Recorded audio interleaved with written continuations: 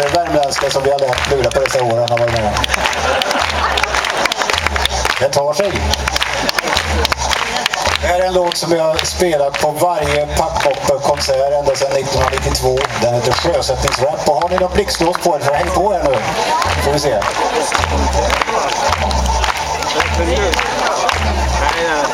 Knappt går lika bra. Ja, det var Bromin och jag. Vi är ganska lika. Vi var nere vid sjön och höll på att spika på en båt, en Ekeröt av sämsta modell. Gubben som vi fick den av var jättesnäll. Han sa ta ni båten och sliten med hälsan och ha det så roligt. För tjosan och svejsan och taxade vi och tog båten med hem. Vi lastade den på taket på Mercedesen. På taket.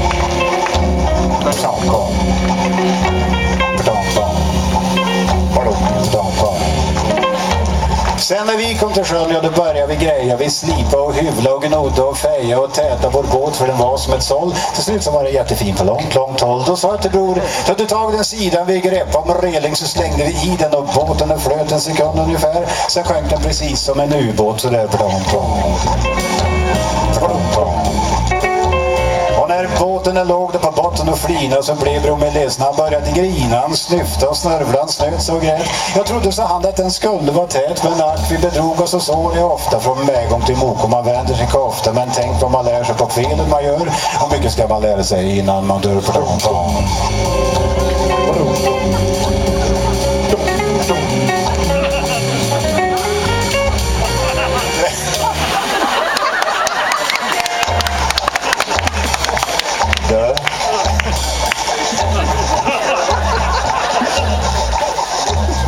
Är väl det allt går ut på vår mening i livet att eh, också lystra till det som är skrivet och lära sig nästa de fel som man gör.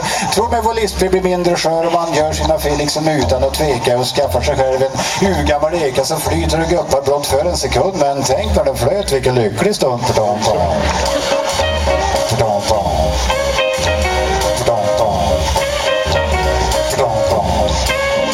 Så ta vara på stunden du gläds åt li livet för glädjen är ingen man kan ta för givet en stund är ett omfång på knappt en sekund.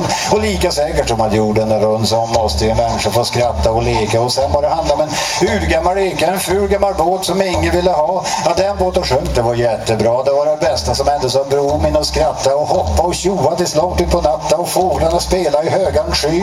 När sorgen gick över och glädjen blev ny och bro min han kom och tog tag i min hand och mötte min blick så vi såg på varann. Så sa till mig, där i månens sken. Dö. Vi hade i alla fall en böt. Fast ingen kan, fast ingen kan se. Eller, eller dö, dö, dö.